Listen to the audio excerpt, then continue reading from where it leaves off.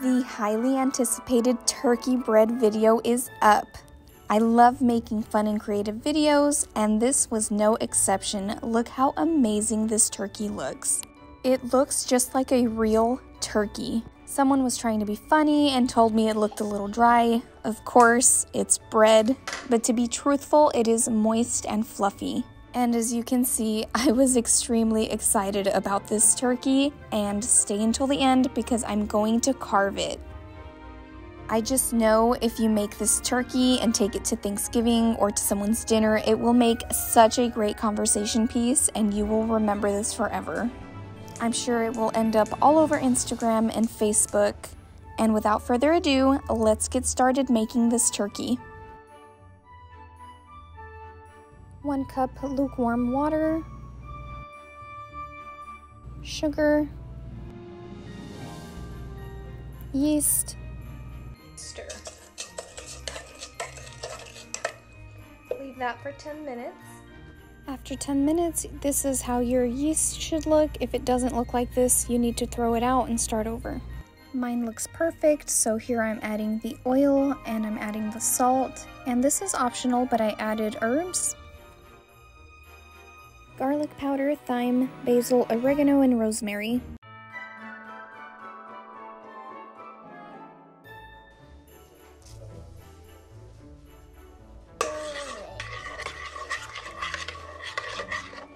Next, I'm adding all of the flour at one time. I'm giving it a little stir. Okay, I'm gonna go ahead and put this in my KitchenAid mixer and I'm gonna put the dough attachment on it, this one. Okay. I started it at a 2 and then I went up to a 4 and I let it go for about 10 minutes. If you don't have a KitchenAid mixer and you're doing it by hand, it's to be the same thing. You're to knead it for about 10 minutes.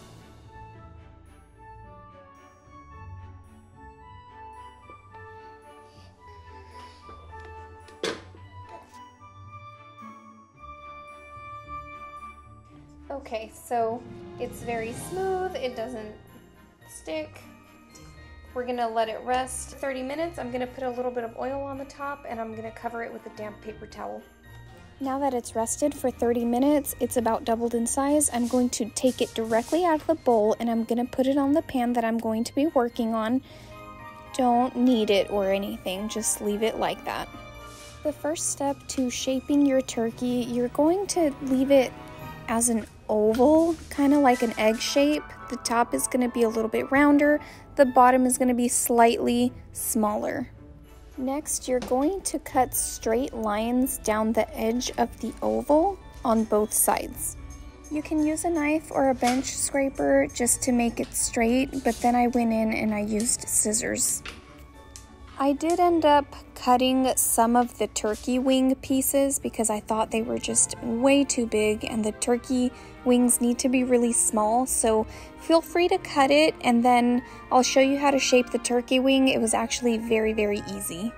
Next, you're gonna cut the bottom of the oval in a V shape. Try to make it symmetrical. These two pieces are going to be the turkey legs.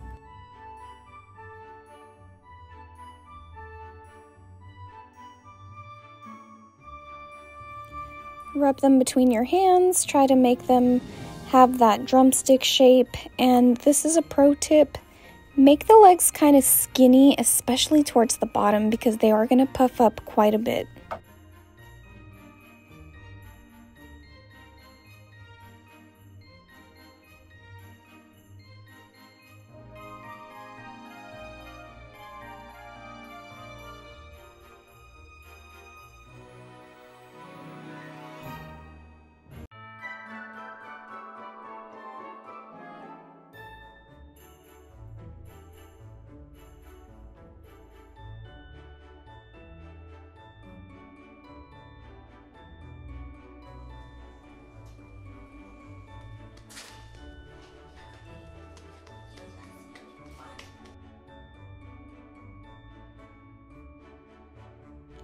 The way you're gonna shape your turkey wings and your turkey leg, kind of pretend that it's a skinny turkey and kind of a long turkey, and that's gonna help you really get that beautiful shape.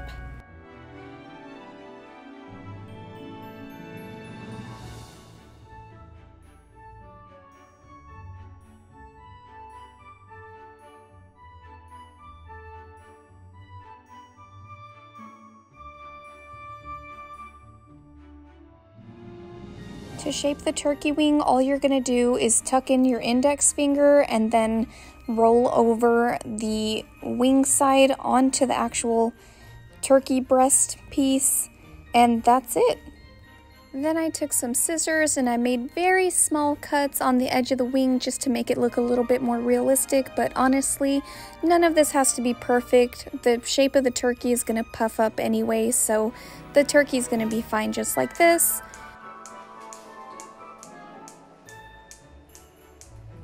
Then I took a sharp knife and I scored it right down the middle.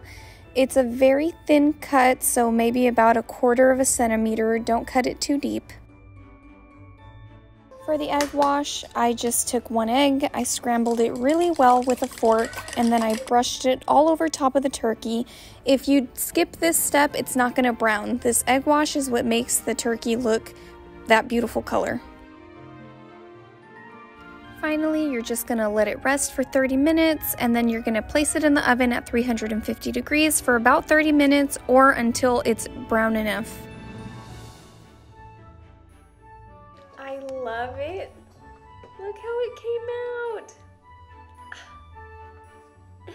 It almost looks kind of juicy.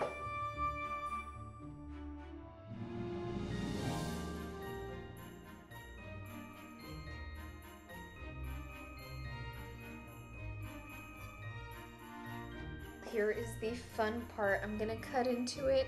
I almost don't want to because it's just so beautiful. Who wants a leg? Oh my gosh, I can't even believe I'm cutting into it. Look at the leg!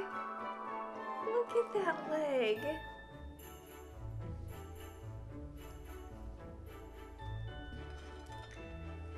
So let me show you what the inside looks like. Oh, it came out, oh, it's so soft. Let's take a slice. I'm definitely gonna be making this for Thanksgiving. It's gonna be very confusing. There's gonna be two turkeys. Oh, look how beautiful. Oh, that's gorgeous. Okay, so this is the leg right here. I'm just adding some butter to the leg. That looks just like a turkey leg. It smells really good. Let's carve this turkey. I know that you want to see it carved. I think I'm going to cut it in half now.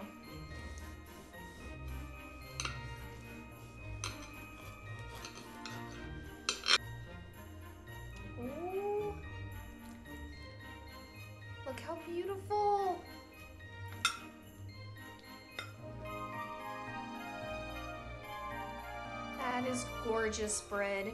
And you can definitely see all the herbs that we used. Oh, this bread is amazing. Look how fluffy that is.